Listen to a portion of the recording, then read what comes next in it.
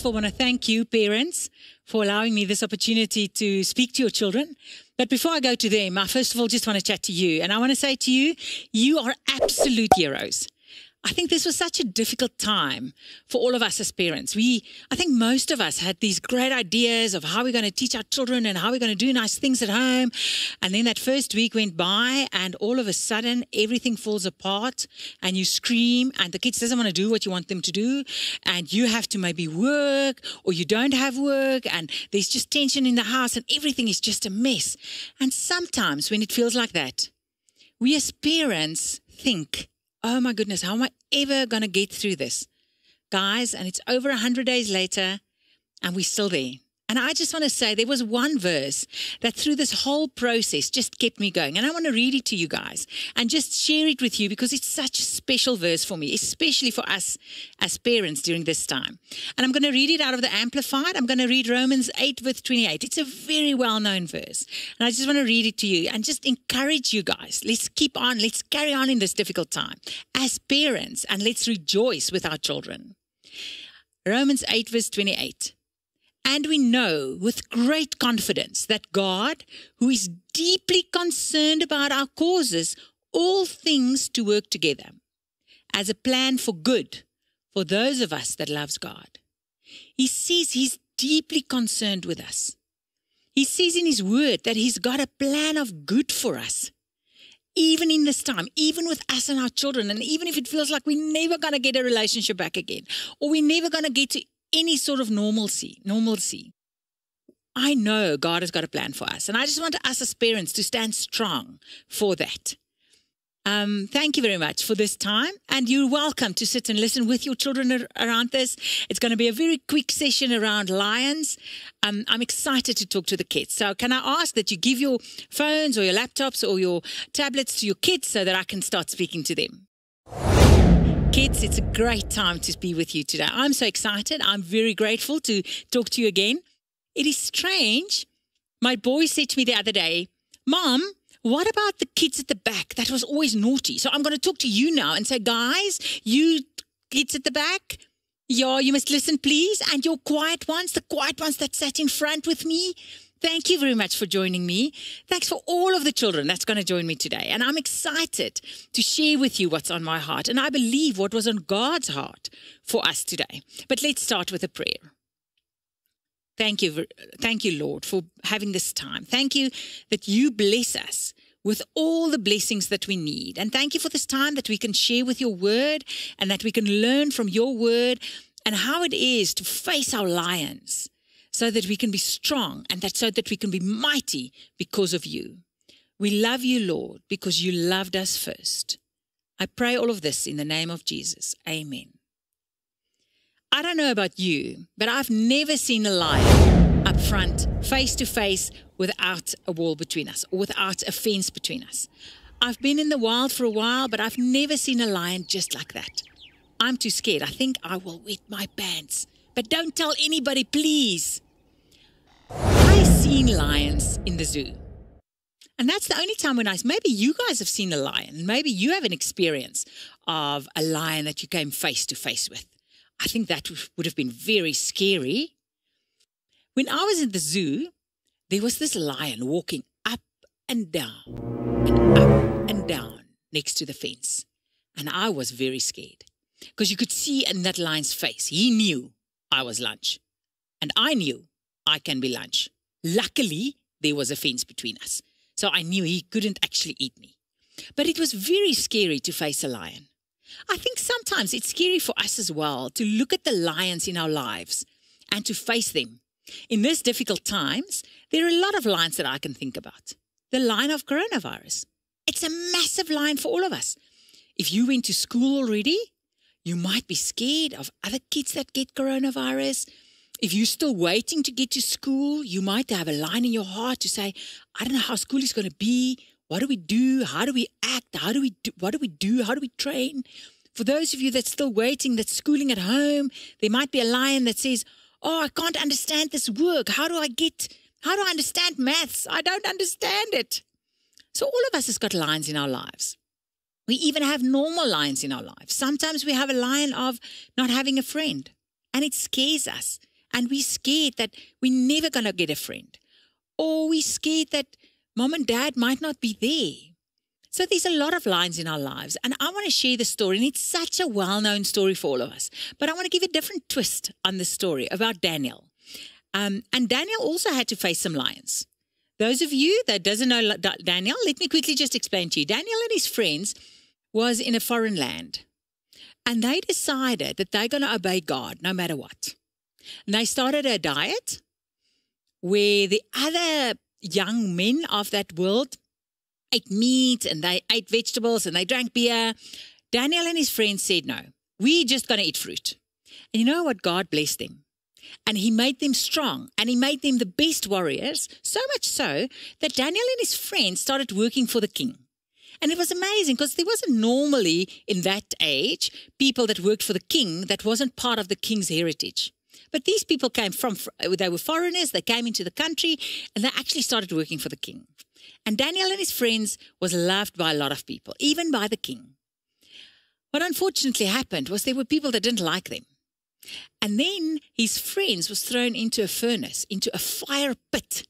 But you know what? God had grace on them and God protected them. And the king was absolutely amazed. And the king actually realized who God is. And then he started, Daniel started listening to the king's dreams, and he could tell the king what it meant because God gave him that word. So Daniel was a well known person in that kingdom. And he was faithful to God, and he loved God, and he prayed to God daily. And it was such an amazing time. But unfortunately, with all things, the king passed away and the new king came in, and that was King Darius. And that king didn't really know about all the good things that Daniel did and all the good things that God did through Daniel. What he did is he listened to his advisors, and his advisors didn't like Daniel. And he said to the, his advisor said to him, "You know, King Darius, I think we should proclaim a law that you are the only one that can be worshipped, that you are the king. Everybody in the land must worship you. And Darius thought, hmm, I'm the king. I think that would be wonderful. And he declared that law. And so these people that didn't like Daniel, they were very happy because all of a sudden they had something that they could get Daniel with. They went to Daniel's home and they saw him. Daniel was faithful to God. He went every day, three times a day, and he prayed to God with his windows open so that everybody could see it. And these people looked at him and said, Hmm, Daniel is not worshipping King Darius. Daniel is worshipping God. We're going to tell the king. And they rushed off to the king and they told the king, and all of a sudden the king was in trouble because he actually liked Darius. He actually liked Daniel. But he couldn't say no because he made a law and that law said everybody should worship him.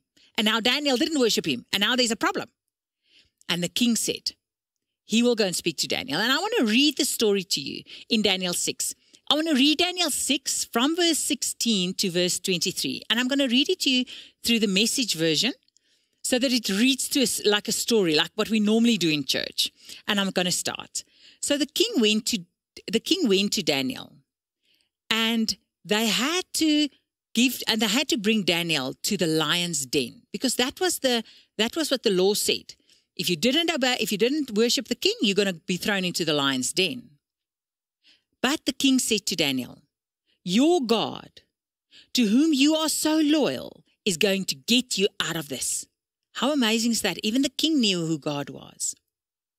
A stone slab was placed over the opening of the den. The king sealed the cover with his signet ring and the rings of all his nobles, fixing Daniel's fate. So where's Daniel now? He's in a lion's den with a rock that was sealed off that nobody can open, and he had to face his lions. And these lions were hungry, I can tell you that. Let's read on and see what happened to the story.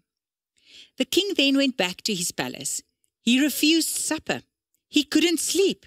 He spent the night fasting. At daybreak, the king got up and hurried to the lion's den. As he approached the den, he called out anxiously, Daniel, servant of the living God, has your God, whom you serve so loyally, saved you from the lions? O king, live forever, Daniel said.